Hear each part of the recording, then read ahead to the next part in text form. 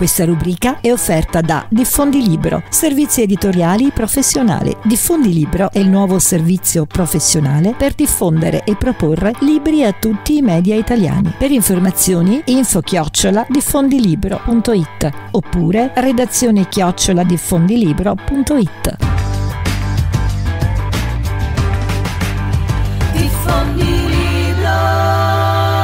Con noi oggi a Radio Incontro KJ Line, come farsi amare da un bad boy, guida pratica per sopravvivere in una fanfiction. KJ Line è con noi, buon pomeriggio, ben trovata. Grazie, grazie, buon pomeriggio anche a voi. Come farsi amare da un bad boy, questo è il nuovo libro che lei ha scritto ed è un libro, mi sembra molto dedicato anche agli adolescenti. Sì, assolutamente sì. Diciamo che prevalentemente è indirizzato a loro, anche se ho ricevuto molti commenti positivi anche dai genitori, soprattutto dalle mamme degli adolescenti che hanno detto che hanno, sono riusciti a imparare qualcosa in più anche dei propri figli o comunque del loro mondo. Come nasce questo libro? Allora, devo dire che è nata in modo un po' curioso, nel senso che um, è nata leggendo i commenti che eh, le lettrici facevano ai classici romanzi rosa che si trovano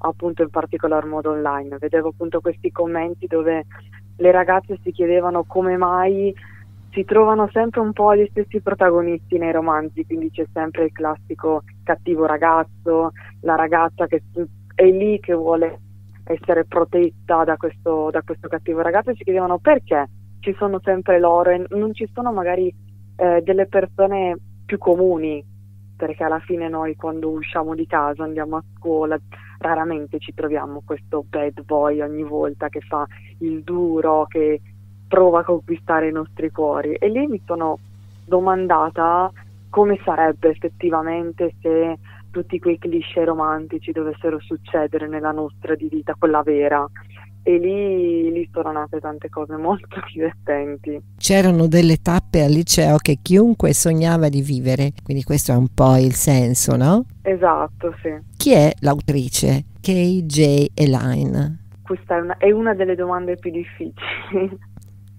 diciamo che non, non saprei.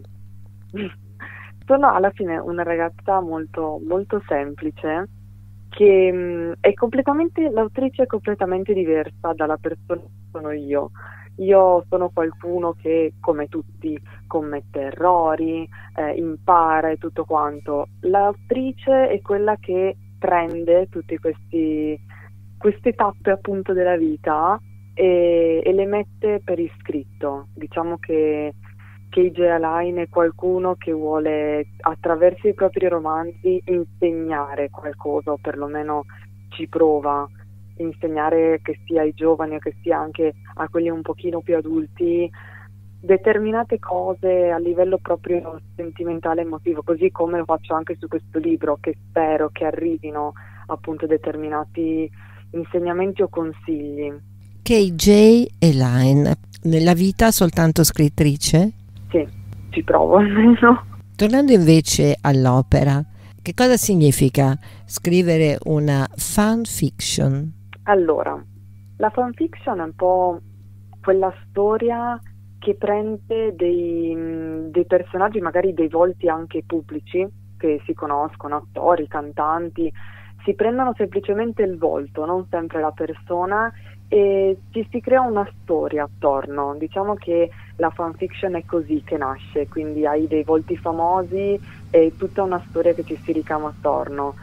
Ovviamente di solito queste fanfiction appunto hanno il volto di, del bad boy per eccellenza e solitamente appunto sono storie molto romantiche, molto, con una trama diciamo banale ma non in senso negativo, ecco. La scelta della protagonista, del carattere della protagonista. Diciamo che la, allora, la protagonista è un po' rispecchia appunto l'adolescente che secondo me c'è adesso, quindi una ragazza forte, una di quelle che mh, mm, ha un carattere che non si fa mettere i piedi in testa. Io vedo che adesso le adolescenti, le ragazze sono molto intraprendenti, e se la prendono la loro storia, non sono più come tempo fa, magari anche se magari sogni di avere quel ragazzo che appunto ti fa la corte, ehm, prova a conquistare il tuo cuore, adesso non, non sono più così. Lo, lo, sogni, però te lo vai a prendere quell'amore se veramente, se veramente ti interessa.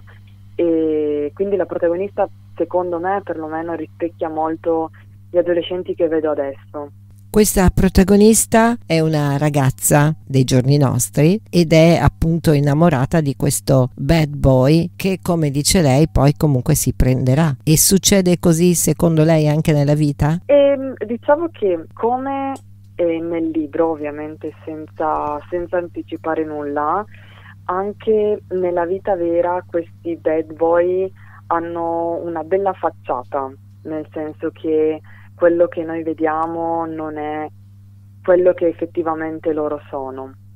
Quindi diciamo che non voglio anticipare troppo di quello che succede nel libro e non vorrei dire quel qualcosa in più, però mh, quello che succede nel libro, che probabilmente è la cosa alla fine più importante di tutta quanta la storia, è quello che secondo me succede realmente nella vita. Quindi sì, non voglio però andare oltre. Certo, e il messaggio quindi? Il messaggio è quello di non fermarsi all'apparenza e quando si parla con qualcuno non bisogna solamente parlare e quindi andare lì e, cercare di prendersi quello che si vuole, ma fermarsi un attimo e ascoltare anche quello che questa persona ha da dire. Il messaggio comunque è anche raccontare il mondo degli adolescenti e delle loro emozioni interiori, sì, sì, sì, che è una cosa molto delicata. Assolutamente. Vogliamo dare alcuni indirizzi per trovare il libro, ma anche i suoi indirizzi social? Allora, il libro è possibile trovarlo eh, in tutti gli store online, che sia Amazon, Feltrinelli, Mondadori, è possibile anche prenotarlo in tutte le edicole oltre che nelle librerie. E, mh, mm, nei social invece mi potete trovare su Instagram, che sempre sotto il nick di kjaline.autor e principalmente sono lì, quello lì è il social che uso più spesso.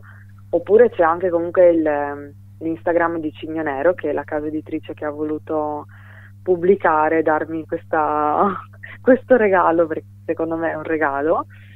E quindi così. KJ Line, come farsi amare da un bad boy, guida pratica per sopravvivere in una fanfiction. La casa editrice, come ha detto lei, è Cigno Nero, la collana è Prisma e il genere è un romanzo. Io la ringrazio. Grazie a lei sarà sicuramente piacevole leggere questo libro, perché no, Grazie. anche in spiaggia e capire un po' di più il mondo degli adolescenti. Grazie mille. Grazie a lei, buona giornata. Grazie, buon lavoro. Grazie.